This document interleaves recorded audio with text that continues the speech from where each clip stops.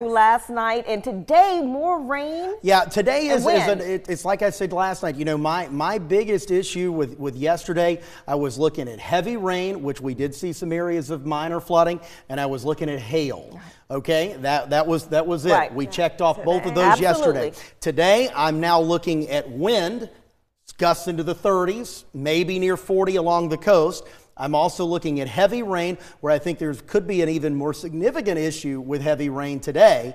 And number three, if you're out on the beaches, and I know if you're vacationing with us, I'm so sorry today is not going to be a great day. But I also need you to stay out of the surf because we've got a big time rip current issue today as well. Very important. the surf is going to be very dangerous today. Let's show you what's going on right now with Storm Team 2 Viper radar. We've got thunderstorms that are developing up around Lake Marion this morning. Uh, in fact, our first flood advisory of the day has been issued up here around Lake Marion. We've got some scattered showers developing across parts of Berkeley County and Dorchester County. County and some heavier downpours inching their way down the Charleston County coast. This is going to be a slow process. It's going to take it a few hours to get down the coast, but it's going to happen uh, as we are setting the stage for what is going to be a very unsettled day with temperatures around 70 this morning across most of the area. We're going to see only a few degrees of a climb between 70 and 75, and that's going to happen this morning with showers and thunderstorms redeveloping. Northeast to east winds at about 10 to 15 now. Those are going to go up to 20 to 25 by afternoon and push those gusts up to 30, even 35 in some cases. Here's how the day plans out for you 71 at 8 a.m. Our high will be between 70 and 75 through noon as the rain becomes heavier and more widespread and that will carry us into the afternoon hours. We should be around 70 by 4 p.m. with numerous showers and embedded thunderstorms. Vipercast showing the radar lighting up between now and 10 a.m. and this will fill in through the midday hours. And look how heavy this rain is. I mean, it's all the way closing in on the top of the scale here in some cases on the precipitation rate. So this is why we're watching for the possibility of one to two inches of rain across the entire area with some particularly in Berkeley, Dorchester, Charleston, and Colleton counties. We think that's going to be the bullseye right here inside the metro as high as three to five inches of rain today and into tonight by the time all is said and done.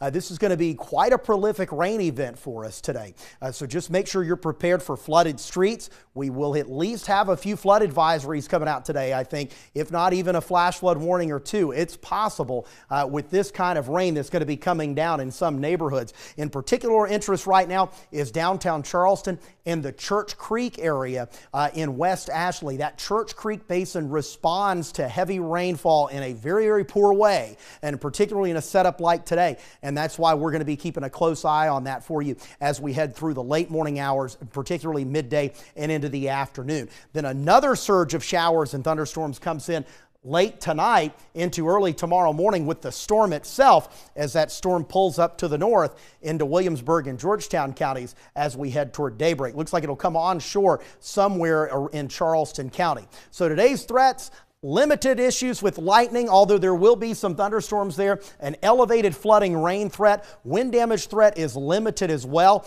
We could see some pockets of power outages, perhaps some minor tree damage and some of those stronger gusts. Rip currents all the way to the top of the scale. That's a big concern out there on the beaches today. Tonight, we'll keep the showers going with gusts up to 35 miles per hour, even some thunderstorms. And I think our thunderstorm chance goes up after midnight. And some of those storms could be rather noisy as they're going to be charging in off of a fairly unstable Atlantic Ocean with scattered showers lingering into the day tomorrow. Looking ahead to Saturday, we clear out with a high of 86 and mostly sunny. Sunday, scattered storms. We're going to be in the low 80s. That rain probability at about 40% as we head through the day Sunday.